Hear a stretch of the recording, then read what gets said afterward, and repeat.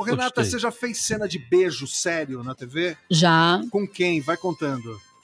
O cara não era um Cauã, Cauã Raymond, não, nem o Caio Castro. Era um cara que tinha um bafo do caramba. Pô, jura, Ah, não de demônio. cigarro misturado com mau hálito. Ah, eu não lembro o nome beleza, dele, hein? graças a Deus. Na Eu- Bandeirantes, eu fiz um- um- uma série, uma coisa assim, e não tava legal. E era, um, e era uns beijo.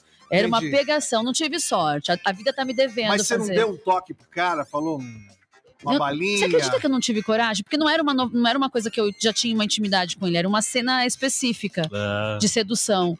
Então, tipo, eu cheguei lá, a gente passou o texto e já. Saiu Vamos- pro beijo. É. Mas aí, ruim. mas aí tem que rolar uma Muito. gravação, por exemplo. Você não pode chegar pro diretor e dar um toquezinho ali Sim. Por exemplo, quando rola uma, uma amiga minha já teve problemas com isso de mau hálito de ator. Olha o que eu fui falar. Meu Deus, perguntou uma coisa, foi pro mau hálito. lógico. Não, isso daí dá corte na internet.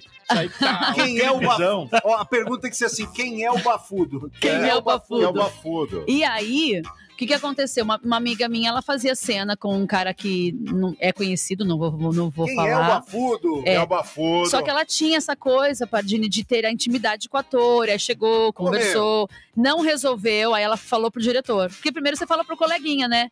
Ô Zé, eu vou te dar um beijo, bota uma balinha, escova o dente, pá. é. Mas aí Passa não. fio dental, que É, escova a né? Mas aí tem cheiro que vem do, da, da- de Do dentro, né? estômago, Do né? estômago, enzimas, É. acho.